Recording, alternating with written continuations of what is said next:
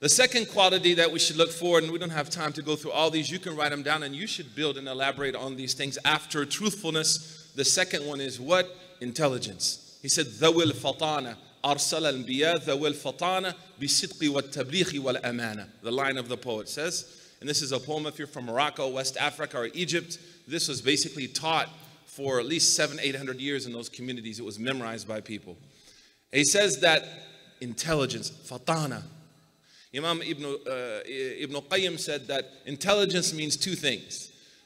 As Sheikh Yasser pointed out, knowledge of the religion, and that's why I believe like if you're going to be an MSA president or you're going to take on the leadership of a community, you should also spend some time and institutions if they were smart would sponsor you to take like a course at Qalam or to take a course with Maghrib to take some kind of course that will give you, hey, these are the fundamental principles that are non negotiables.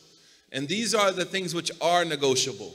In DC th- this summer, we plan to do a, a, an intensive called What Bends? What can bend and what can't bend?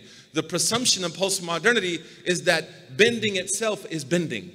I'm saying this is the problem of postmodernity that the presumption is that bending itself is bending. There's absolute chaos in the world and you can destruct deconstruct everything and you can invoke every ism until the only ism you have left is nihilism.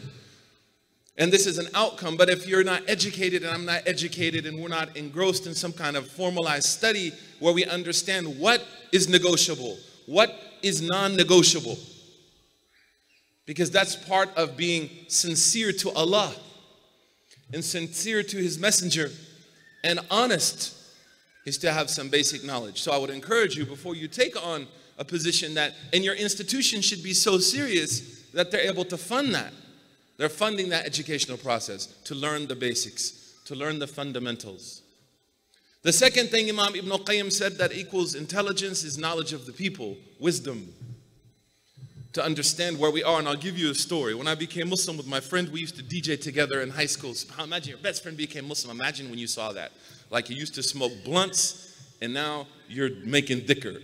You know, you went from the liquor store to the dhikr store. You know, it was amazing, right? And it's like my homie, this is my boy. He married a Moroccan woman, hence he's overweight, but he's happy.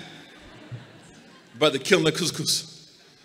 Um, so we became Muslim, and next to our mosque was a convenience store. And this brother in this convenience store, speaking of postmodernity, you could find everything from a Bible to pornography, right? That's postmodernity.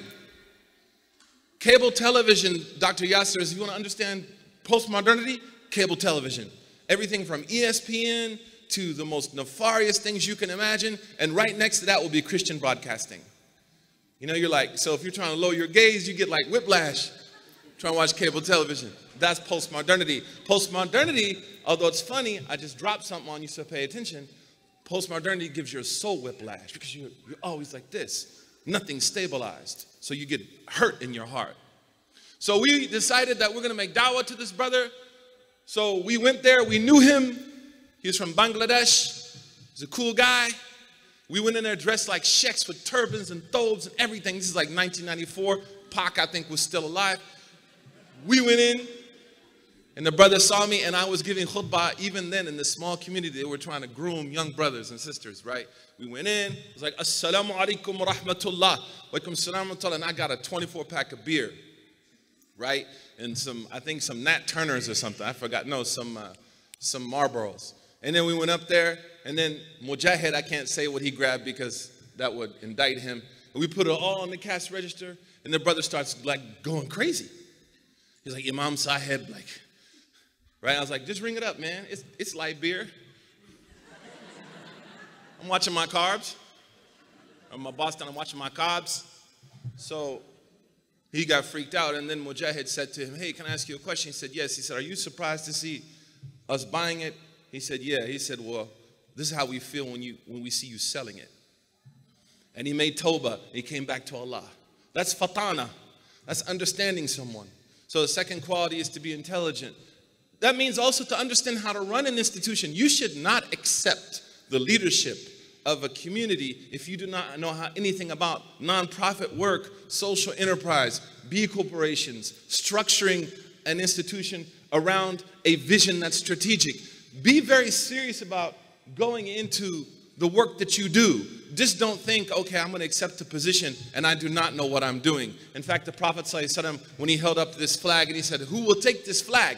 Everybody wanted to take it, but then he said, Who will give this flag its right? And everybody took their hands down except Sayyidina Ali radiallahu anhu. So leadership into institutions means also I should have some familiarity with how to run an institution. Not just, I'm going to be the president or whatever. No. So knowledge of religion, knowledge of the people, and then knowledge of the task at hand equals fatana. And there's an important point. If the Prophet wasallam was not able to complete something, Allah always provided him with someone who would help him complete it perfectly. Sallallahu alaihi wasallam. And that takes us into volunteer work.